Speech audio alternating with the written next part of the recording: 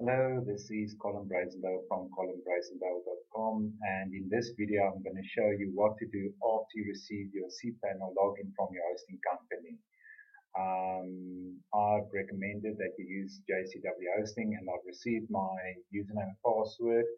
Then you type in your username and password.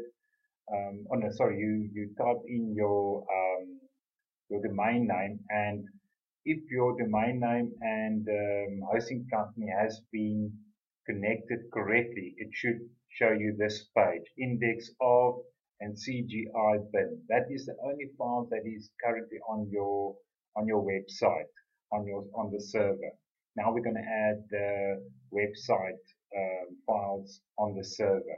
But first of all, to do that, you need to log into your cPanel account.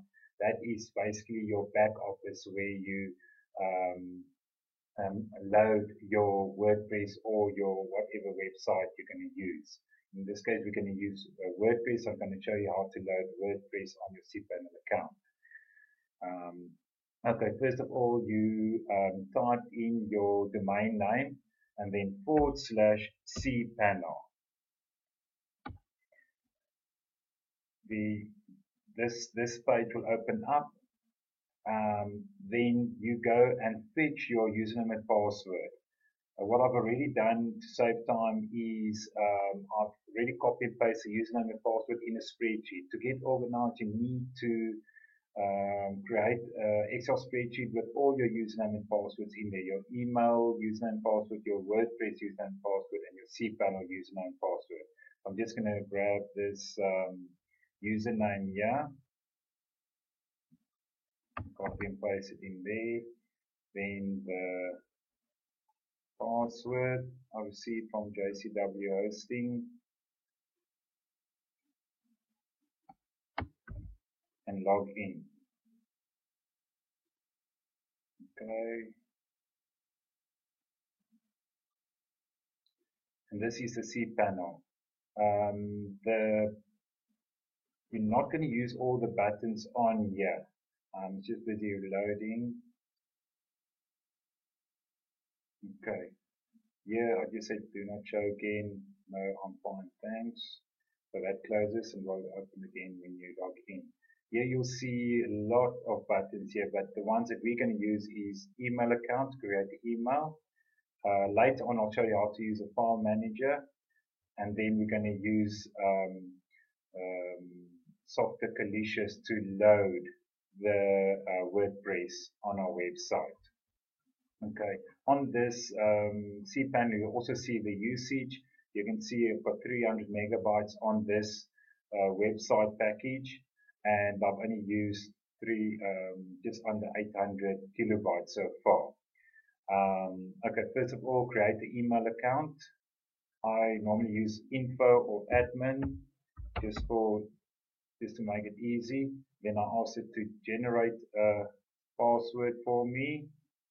Um, say yes, I've copied and the, the passwords, I've already copied it. Use password, create account. Okay, now it says it's not strong enough. Um, let's just see. Okay, it went through account created admin at, at this case it's discountautopartsstore.org. Um, so I'm just going to paste my password in here so that I can remember it and also the email address I created. I'm going fast with this, but you can pause and um, do it on, on your side from there. Okay, now we're going to load the WordPress. Okay, go back to the cPanel then we scroll down to Software Softaculous. It's a program that's going to create the database for us. It just makes it much quicker and easier to load uh, the website or WordPress for you on your on your server. Softaculous you can also use for many other programs, as you can see, like Joomla, but we can use it for WordPress. Click, click on install. I always like the www. Then in what directory we don't want it in any directory, we want it as is. The, the whole website can be loaded on the domain name only, not in a subdirectory or any other directory.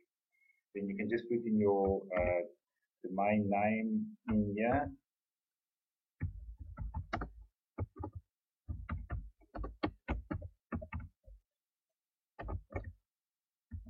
The name of your website and then just the site description I just put discount car replacement shop online. Then now I'm going to create the username and password for my when I log into WordPress. Here you can ask WordPress just to to generate or you can it will generate the um, password for you. You can also add stuff in here if it's not strong enough just to get it close to 100. Copy. And here's my email address. Uh, I'm just going to paste this this password in here. And the username is cvd2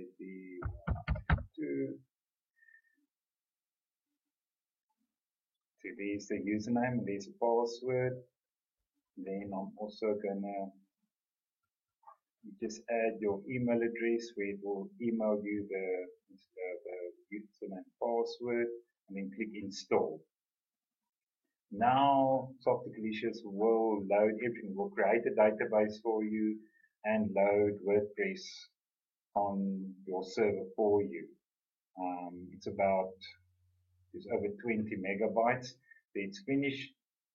Um, then to log in, there is your you use your username forward slash wp-admin or uh, wp-login.php,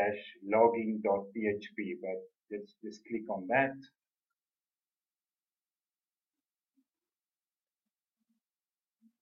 Okay.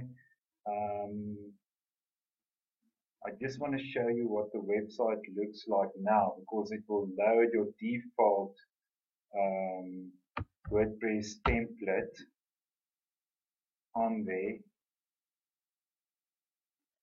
just to check that it's loaded okay. So it will be the standard template of WordPress uh, theme uh, 2015. This is a 2015. So this is what the website looks like now. But now I want to log into my website. There's my username. I just need to pick up my password.